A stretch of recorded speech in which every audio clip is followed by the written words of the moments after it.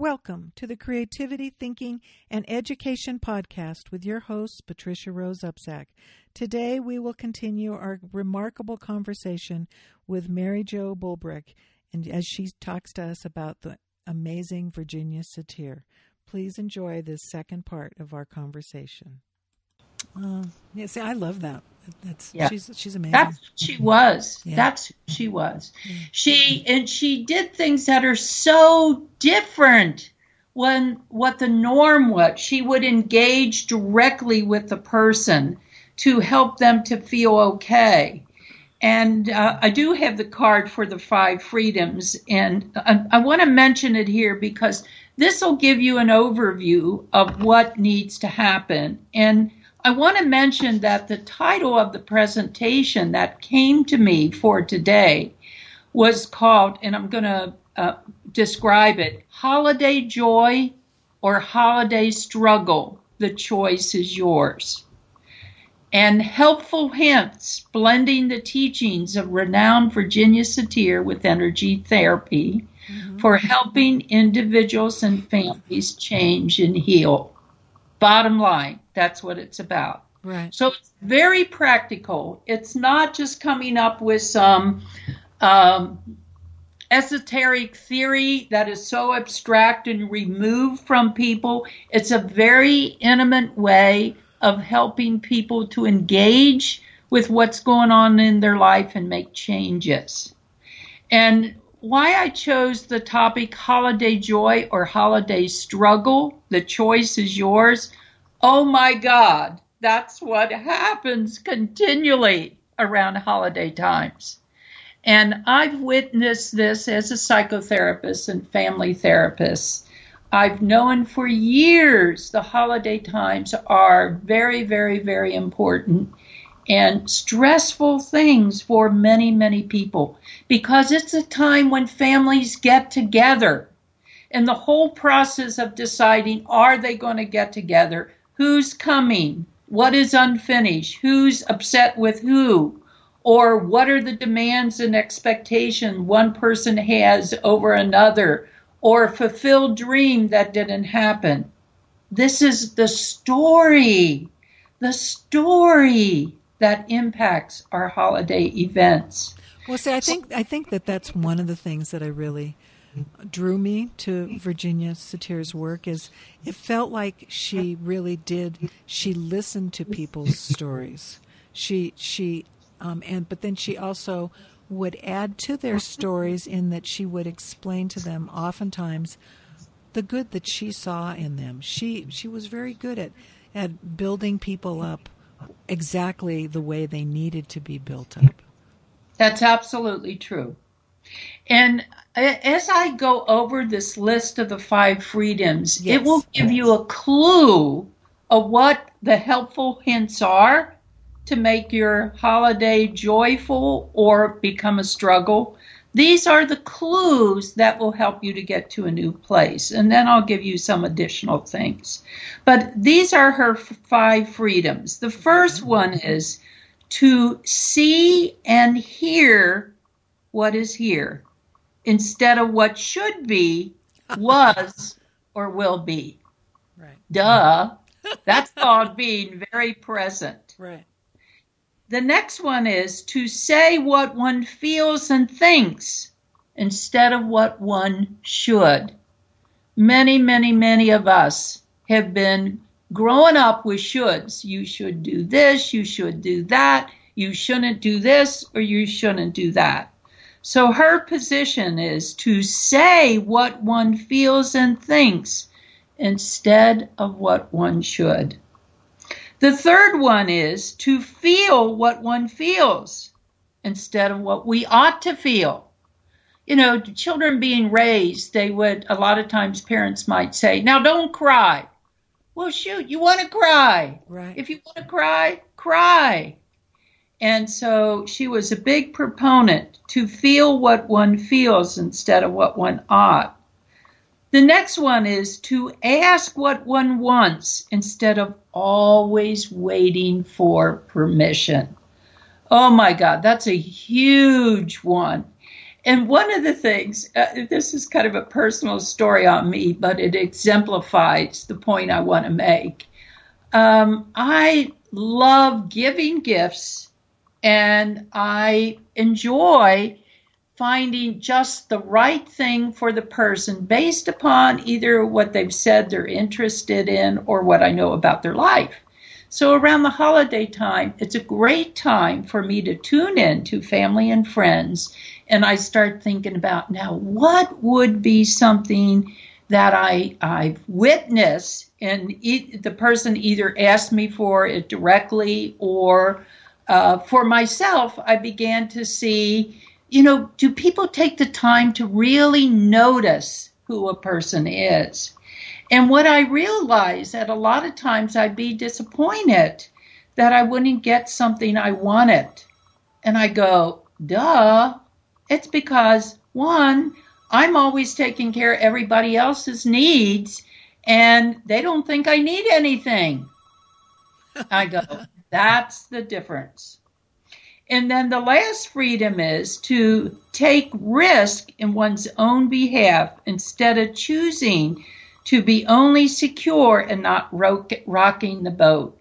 Well, this is a huge one. A lot of people, you know, if they're if they work with someone who's a boss that is bossy, or they're in a relationship um, that is very demanding and they don't assert what their needs are, then um, um, some people just give up and say, well, I'm not going to take the risk and, and do what I want to do or go where I want to go or say what I want to say. So that's essentially what uh, she's showing people to do how to engage with their inner self and to look at their life, look at their family dynamics, and to see uh, what needs to be done to change. And her whole thing is about helping individuals and families change and heal. Bottom line. Right. That's what she did and what she was interested in. So you so you helped her start sorry. you helped her start a program in Utah, is that what you said? That's correct. Uh, Virginia and I, as I mentioned to you, she had a group called the Beautiful People where people said, Hey, I want to hang out with you some more. So once a year, we would get together, and uh, I'd say maybe close to uh, 80, 90, 100 people would come together at really a nice place generally, and we just hang out together. And it was at the time where she started to say, I think I need to train other people to do what I do. She was probably in her um, 60s at the time.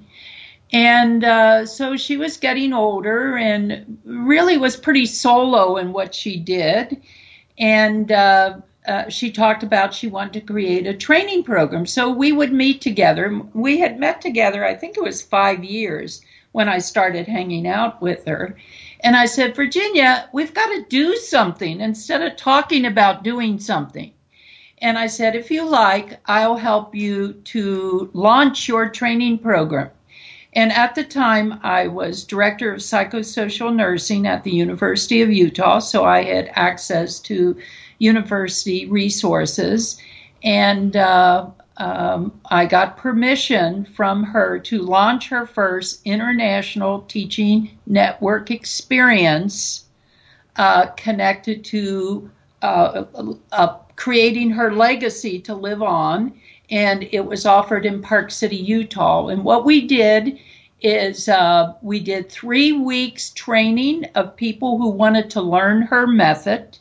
We had one week annual meeting, and we had three weeks of what's called process community. Actually, she had been doing month long training for people in her work, but we built it as a three week training. So, uh, in addition to that, I organized 19 workshops throughout Utah at different agencies where, in the new model she was training, we would go in different places in around surrounding Salt Lake City and offer the training model. And uh, and also some people got university credit for coursework. So that was the launching of her network that was called uh, Avanta Network.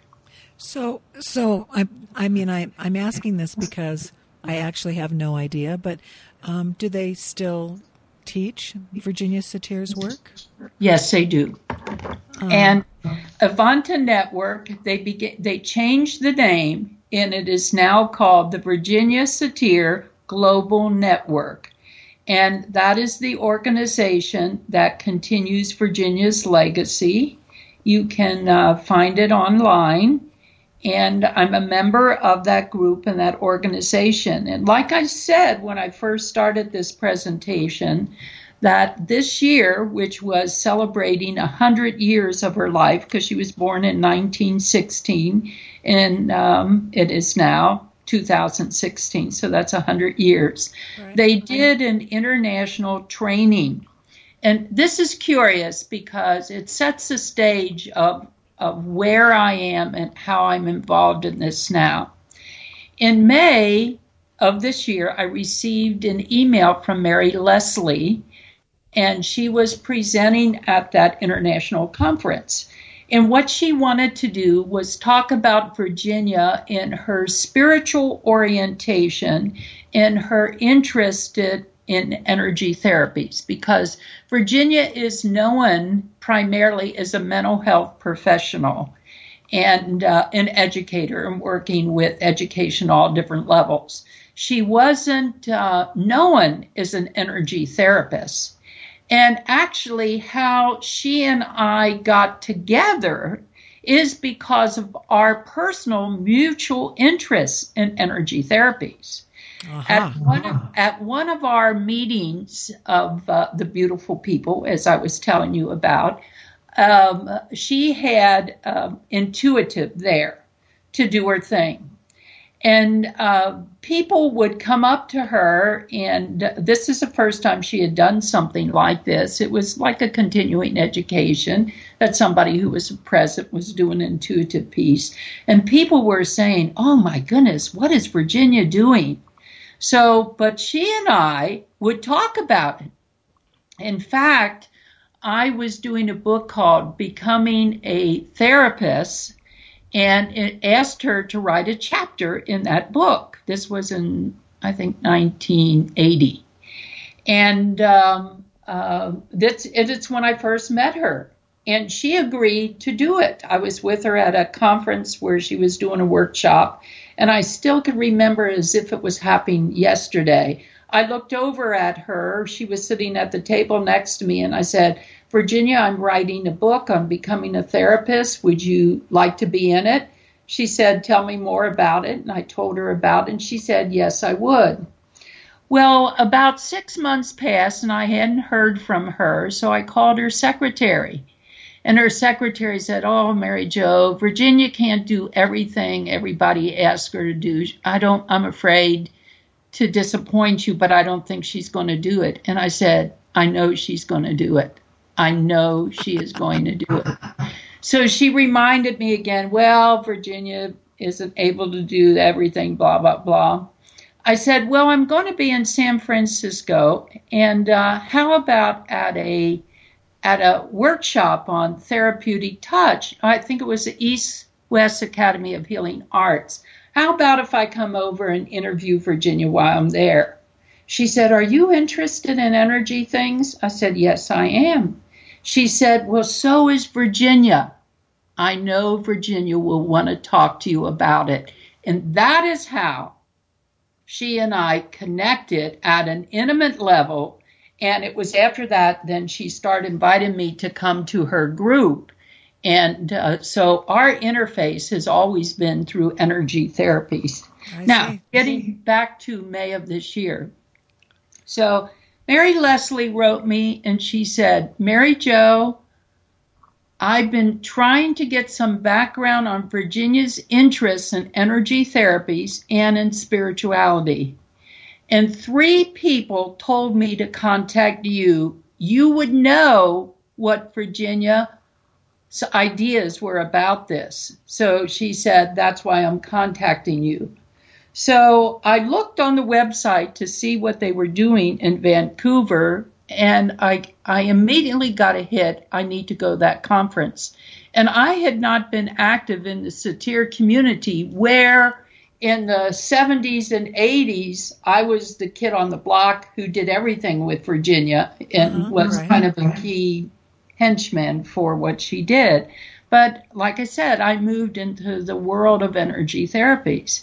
So, but when I saw they were celebrating her birthday, I go, I have to go. And so 1.30 in the morning, after I got that email and I looked online, I booked a ticket the next morning, Mary Leslie had written me and she said, Mary, and I had sent her some material, what I did with Virginia Satir, and I had it on my website because I had done a number of trainings, actually, including a video series in Perth, Western Australia called Helping Individuals and Families Change. So uh, does, does, that, does that video series still exist? It does. It does. So tell us the name of that again helping individuals and families change. And there are three parts to it it's called Becoming You, Shaping You, and Becoming Well. And how that series came about is I was working on, uh, I, I had a visiting professorship position in Perth, Western Australia, and um, uh, helped coordinated a, a graduate program that they were starting in that country and um, I was doing my own theory development, combining uh, energy work and psychotherapy. And I was working with the um, uh, media department to do some filming. And after I described what I wanted to do, the, the um, director of that department said to me, he said, We had a woman here, maybe when I first came here, it could be 10 years earlier. And she taught here in Western Australia. And I was the one who did the videotaping connected to her materials. And I was just dumbfounded how good and exciting it was. And it sounds very similar to what you're talking about. I said, Well, who is the name of the person? He said, Virginia Satir. And I said, I'm part of her teaching network. and so when I created my original film series, and it was at the end of the year, and uh, and we did filming before live audiences there. And I came back to the United States, and he was editing the films and sending me the material. And I didn't know it, but he put the original video material he had of Virginia and interspersed it in my films. Oh, that's wonderful. It is wonderful. But now I want to get back to the story about June of this year with Mary Leslie. Okay. All right. So Mary, Mary then, um, when she received the materials that I had sent her, she said, "Mary Jo, this is fabulous. I really think you ought to come to this conference, and if you come, you can co-present with me." So I wrote her back. I said, Mary, I booked a ticket last night. I would love to come and co present with you. And that's what I did. Oh, I think that's wonderful. And when I was there, uh, one of the key people, whose name is John Banmen, who continues Virginia's work and legacy, he's um, uh, from Vancouver, and uh, the group that was sponsoring that conference were. Uh, he's very active with that group and he said what to was, me, "What was the name of the conference?" Uh, it's uh, becoming more. Um, let's see, the official name. It, it, was becoming more fully human. I think they used the original name that Virginia had. Okay. That's when she launched the training in uh, with me in Park City, Utah that's what her goal was to create a university for becoming more fully human and teach people how to live within their families in a new way, how to help professionals, how to help people live in their families a new way. So anyway, um, that's what we did. We we uh, I went up there, and John said to me, "Mary Jo, what do you think we need to do next with Virginia's work?" I said, I don't know yet, but I do know I am supposed to do something. So when I came home, I started meditating, and Virginia came to me as all the examples I've given you that have shown you how my life was woven around experiences with her. And this is only just a small fraction of the many, many inner things that interface between our lives together. But so when I came home, I go, all right, I'm ready. I am going to create a university for becoming more fully human, what she wanted to do, and a training model blending Virginia Satir growth model in energy therapy. And oh, that's what I, love that. That's wonderful. That's I did. And it's available now. I just came back from Peru in October and I helped launch some of the new training there that I had worked with. And uh, I've presented at ICEEM and uh, working on a, a paper for the Satir uh, journal that they have, and I'm totally committed to now bring forward her ideas and show how it interfaces with what is out there. We still need to do more feel more things around helping families heal. We need to educate professionals, both school teachers of every kind, how to uh, help uh, the learning process and to uh, build their self esteem, help have clear communication, and bring peace. Yes. well, what's fascinating to me is I, you know, I would love, well, I'd, like I, I had told you when we started this, that, I mean, there's so much that you and I have to talk about. And what I would really like to see us do is sometime in the spring um, have another hour with you and see where you've progressed with the university. Because because you know being a Taurus like you are the two of us together you know yeah. April Tauruses that's us. Um, I really the, the first thing I, I could see images and I wanted to know okay how is it set up? What's the foundation of it? How do you have it put together? Yeah all of those kinds of things. And of course we don't have time for you to do that today but I really would love to have you come back, possibly in April, and do another hour, which will be turned into two podcasts, and we'll we'll actually see how far you've you've um, come for that university because I think that that would be a wonderful dream come true. I mean, it, you know, Virginia Satir is one of those like I said, she was my mentor that I never met. I mean, it was I would read everything I could get my hands on about her, and and people would say, "Well, you, you can't do that," and yet the basics of what I taught as a teacher, and I, w- I would started a program in Boulder, Colorado, with um, learning disabled high school kids who were very bright, who only came to see me um, once a, once a day, and yet using her work as a foundation because that was what felt right to me. And it was like it felt so natural to be able to kind of just go with the flow. And each kid and their families got different kinds of um, work because it wasn't, it, you couldn't be a cookie cutter teacher or a cookie t- cutter person with these people. They had real needs and real um, dreams and you found out what those goals and dreams for their kid was and for their families and you helped them. And my students most of them have been very very successful and they're healthy and happy and you know contributing to the world. And i have to say that i think that one of the main reasons for that is because i found virginia satir's work on self-esteem. It was just profound for me I totally agree with you, and that's absolutely accurate. She transcended the paradigm of her day and she linked people together in such an intimate way spiritually that it met the personal needs and goals of everyone present. And it's curious to me that after all of these years, the prediction that I had, when I look at how my life has evolved over, and I'm in my 70s now, and I look back at, I was half of Virginia's age when we were active together. And, you know, I, one time she put her arm around me and she had given me a, a beautiful silk blouse of hers and we were looking in the mirror together and she said you could be my daughter And I go, I know I could because I have very similar coloring to what she has. And I'm also about the same height that she is.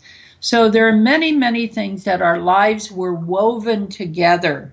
And it's not only true between Virginia and I, but I really feel that our experience together uh, was a continuation and meant to help facilitate things for you and for me as well right. that shows the common linkage. And this is how the world works. This is the new paradigm that goes beyond conscious planning. And I'll never forget, I was sitting outside the hotel getting ready to go to the train station. You came out with Jackie, and I saw the two of you pacing, and you saw I was reading some kind of a, a tour guide book for the area.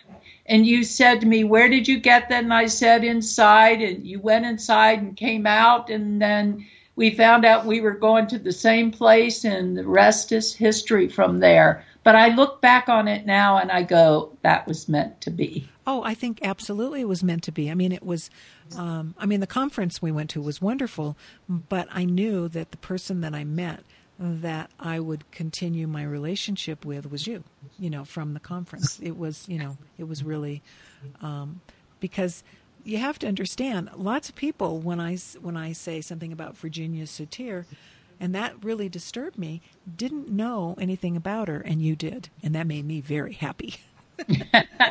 well, the same for me. And what I realized, I have missed talking about her uh, and the foundation of my life has totally, totally been based on that. Even my youngest child, she was godmother to my youngest child, uh, oh, Jim, wow. in Salt Lake City. And all of the experiences she and I had together over the years, everything I do is woven around the philosophy, and I am so happy to share it to articulate it, and not so much because Virginia needs to be praised because she's very happy where she is. That's oh, not the sure. problem. Right. But it's for a different way of being in the world. We need new models. Yes, and I'm going to tell you one thing that happened that is that just happened this week that is related to it. And uh, I was working with a young man from Africa who called me who uh, had a near death experience. And I could tell he was really very distressed and that life wasn't worth living. And we had worked online before, and I had met him through a mutual friend. And so I, I knew he was borderline, not that I thought he would kill himself, but I thought he was greatly in danger. So I spent time talking to him and I said, Joseph, I want you to do a drawing for me. I want you to do a drawing for me on what is your dream? What would you like to do with your life that you're not doing? You do the drawing, then send it to me and we'll talk back.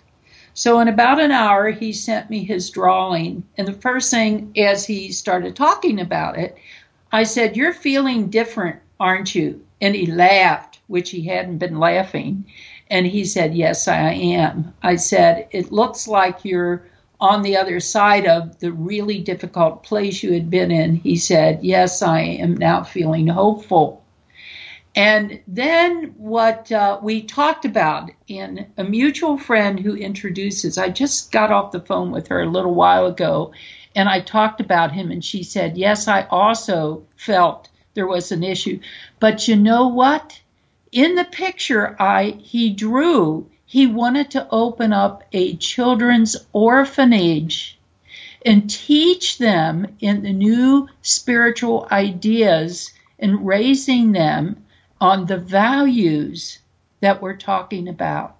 How about that? Oh, and my wonderful. friend said, We're going to work together to do this. So, you know, when you ask me in April what has done, I will tell you that as of this past week and today, we're working with a young man in Africa on the Ivory Coast and helping him to start an orphanage and switch his direction into this. And this came about because the authentic way of connecting with people that Virginia Satir taught me.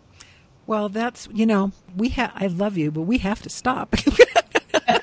um, Thank so you. what we'll be doing is um, we will we will try to do this again in, in April because I think it would be wonderful to have a continuation because you're just amazing. Um, so thank you very much, Mary Jo. Thank you. It's been a delight thinking about this, preparing for it, and sharing it. Has brought me a joyful memory for this holiday time, and that's what I. And uh, I've been having some hard times this holiday, and so just switching about something I love, which is the teachings of Virginia, has made my day. And oh, I I'm hope so glad. you do the oh, same. you know what I need you to do? Give them your website again, please.